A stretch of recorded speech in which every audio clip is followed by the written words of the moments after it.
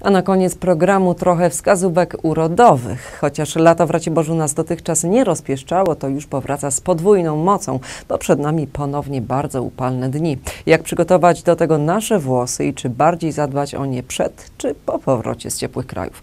O tym dowiedzieliśmy się dzisiaj w jednym z najdłużej działających w mieście salonów fryzjerskich, czyli w Olimpie. Chcemy wyglądać pięknie przez cały rok, ale latem, kiedy nasze czapki leżą na dnie szafy, włosy muszą być w jak najlepszej kondycji. Jak o nią zadbać? Otóż jak przekonują doświadczone fryzjerki z raciborskiego salonu Olimp, przede wszystkim trzeba je przygotować na bliskie spotkanie ze słońcem, zwłaszcza kiedy jest długotrwałe. Postawmy na regularne zabiegi pielęgnacyjne, czyli na nawilżanie i na płyny termoochronne, które zabezpieczą włosy przed nadmiernym wysuszeniem. Koloryzacja tak, ale zawsze po powrocie z wakacji, ponieważ woda morska i promienie słońca niekorzystnie wpływają na ich strukturę, a kolor kolor zwyczajnie wypłukują. Wiemy też, jakie fryzury w tym sezonie są najbardziej modne. Stawiajmy na naturalny look. Mocne i skomplikowane upięcia oraz trwałe ondulacje również na wszelkiego rodzaju uroczystości są passé. W grę wchodzą tylko delikatne fale czy uniesienia. Oczywiście panowie w trosce o swoje włosy wcale nie są gorsi. Perfekcyjnie dopieszczone fryzury i brody to u nich dość powszechny widok.